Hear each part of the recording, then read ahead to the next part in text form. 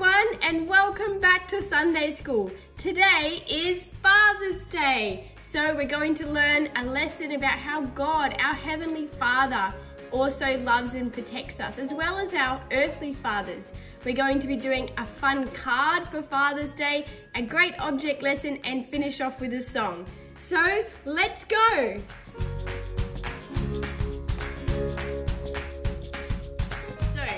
Do you know how our dads are pretty big and pretty strong? Well, we're gonna sing a song now about how God is pretty big and pretty strong as well. You ready to sing a song with me? All right, everyone stand up to your feet. We've got some actions with this song and let's sing. My God is so so strong and so mighty, there's nothing my God cannot do. That's true, my God is so big, so strong and so mighty, there's nothing my God cannot do. That's true, the mountains are His, the valleys are His, the stars are His handiwork too. My God is so big so strong and so mighty, there's nothing my God cannot do. That's true. Let's sing it again, shall we? My God is so big, so strong and so mighty, there's nothing my God cannot do. That's true. My God is so big, so strong, and so mighty. There's nothing my God cannot do. That's true. The mountains are His, the valleys are His, the stars are His handiwork too. My God is so big. I'm all right. So strong and so mighty, there's nothing my God cannot do. That's true!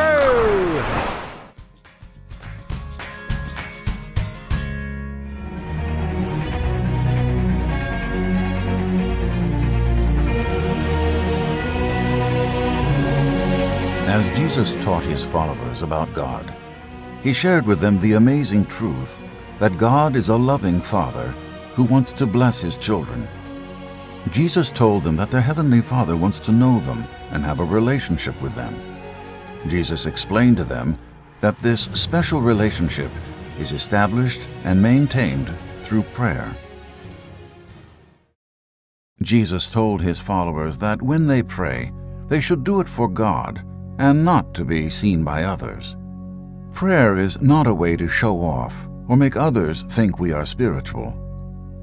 Jesus explained that prayer is a conversation with God, and we should do it someplace private where it is just us and God, so that we can pay attention and not get distracted.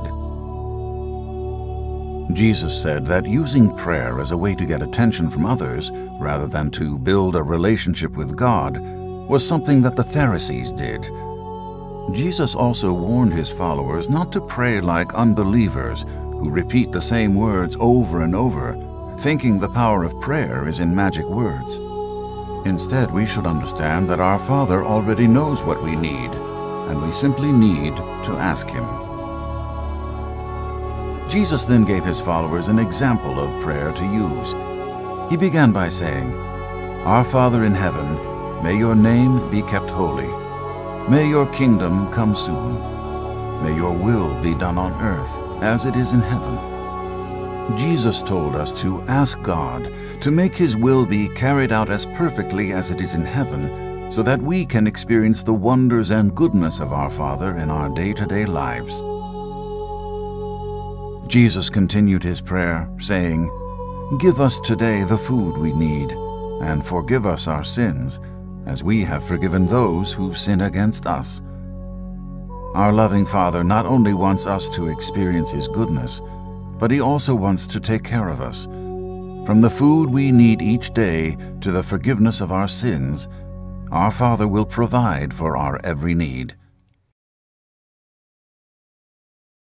Jesus finished his amazing example of prayer, saying, And don't let us give in to temptation, but rescue us from the evil one. Jesus reminded his followers that our enemy, Satan, means to do us harm, and lead us away from following Christ. Our Father only wants good for us, and He will protect us from our enemy, giving us victory when we pray. After Jesus shared this amazing prayer, He encouraged His followers to practice what they pray. If we pray for forgiveness, then we must be willing to forgive those who have wronged us.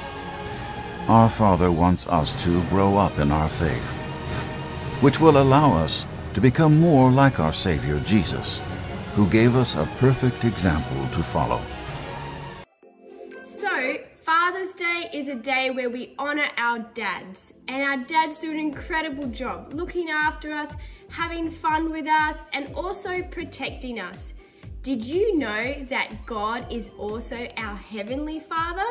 So sometimes our earthly fathers are not perfect, or sometimes we don't have an earthly father. But we always know as Christians that God is our Heavenly Father.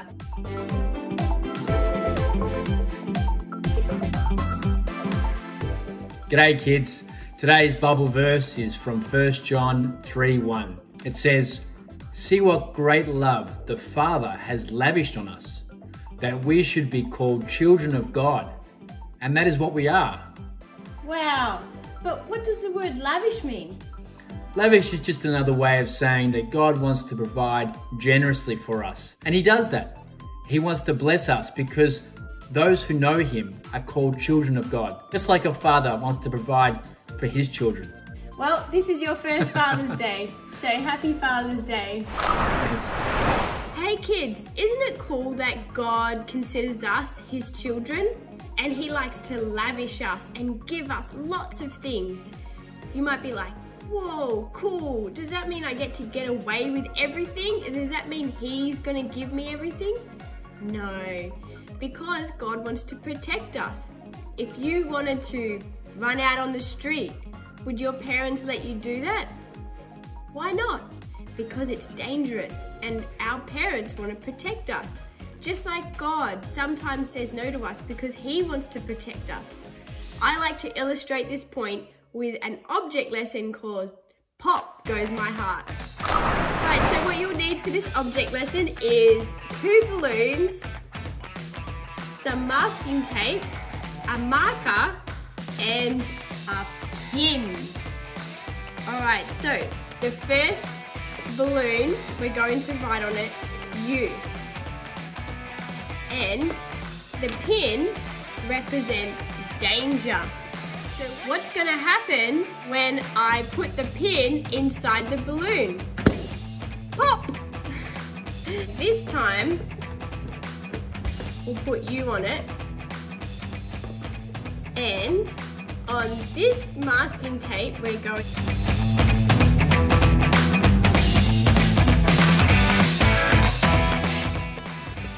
So the Father's love is going to protect us. Alright, so now when danger wants to come, and into you here, the Father's love, God, protects us. Look what happens when I put the pin into the balloon. It doesn't pop. Father's love protects us from danger.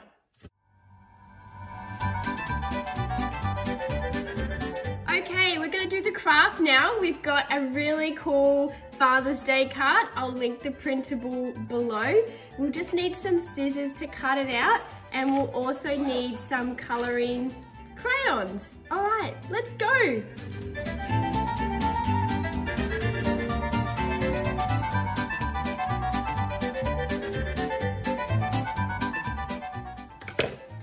Okay, now we're done cutting it out. Now we just need to color it.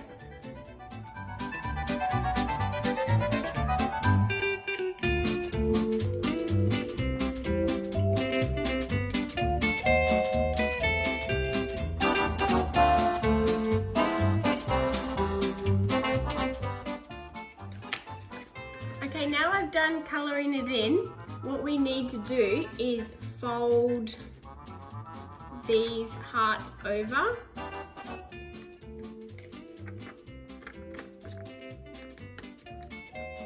And then there's a little line here, we fold that one. so that the hearts match.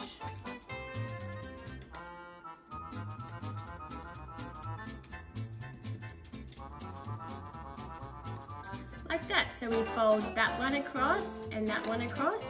And then there's a cool little heart with a moustache and you pull it open and it says Happy Father's Day. Alright kids, we just wanted to say goodbye together and say a big happy Father's Day to all the dads out there and also Charlotte wanted to say happy Father's Day to her dad. Happy Father's Day! All right, kids, see you next time. Bye.